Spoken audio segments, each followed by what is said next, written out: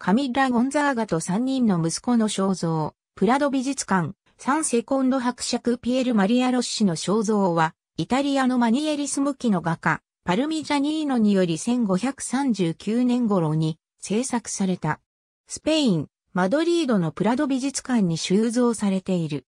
モデルの人物はサンセコンド伯爵であり、作品は伯爵夫人とその子供たちの集団肖像がカミラ・ゴンザーガと3人の息子の肖像と体を成しているが、カミラ・ゴンザーガと3人の息子の肖像の方は、パルミジャニーノへの帰属が一致して認められているわけではない。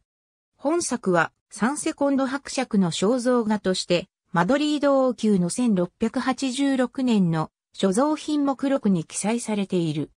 人物は、この記載に基づいて、ピアル・マリア・スリーンよ、デロッシと特定され、ロッシ家の子孫の一人も、パルミジャニーノ作のピエル・マリアの肖像画の存在について1630年に記載している。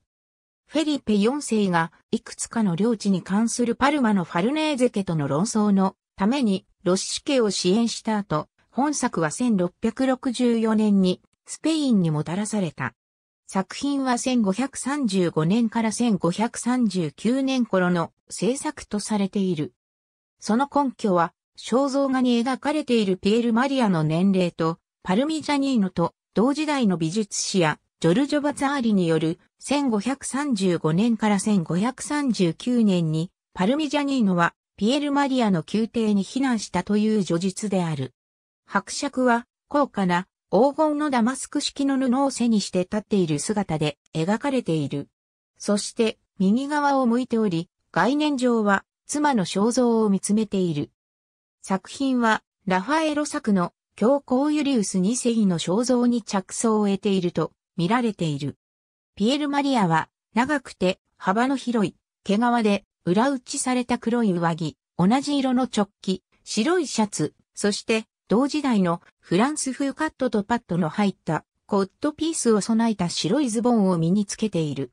厳格な姿勢と剣の柄の上の手はピエル・マリアのコンドッティエーレとしての軍歴を表している。ピエル・マリアはコンドッティエレとして神聖ローマ皇帝カール5世、フランスのフランソは1世、フィレンツェの孤児も1世に仕えた。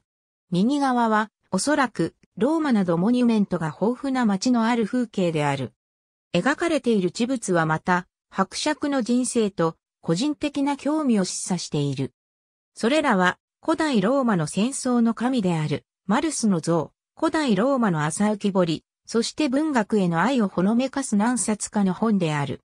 そのうちの一冊には、インペリオという碑文があり、作品が描かれた当時の皇帝カール5世へのピエール・マリアの献身を示唆している。右側のマルスの像のように引き伸ばされ、長身化されたピエール・マリアは、長い首の聖母の世俗的男性版と言える。AB、プラド美術館、ガイドブック239項。ありがとうございます。